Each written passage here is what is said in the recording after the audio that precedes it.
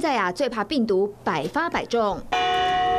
读闻附中生不闻人语响，因为台大、师大等多所大学的宣布一律远距上课到学期末，同学一律变网友。但是啊，在凶狠的疫情下，校园本土确诊人数最多的是小学生，目前有两万五千多人；大学呢是一万六千多人。但是小学生还是勇敢的背着书包上学去。最危险的族群还是在外面啦，这样子其实也没有很好，而且他们又这么小。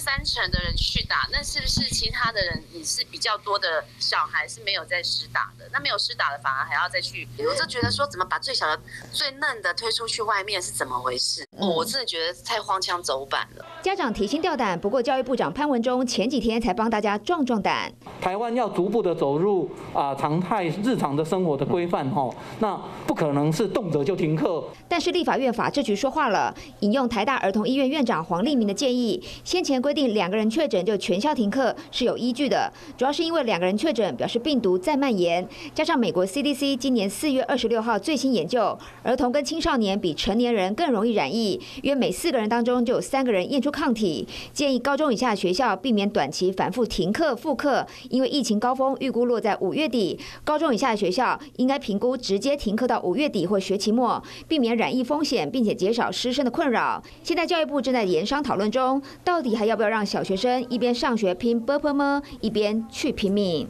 华视新闻黄敏慧、方启年台报道。有事没事赶紧转开华视，还没有订阅华视的 YouTube 频道吗？赶紧按赞订阅，开启小铃铛。我们华视 YouTube 见。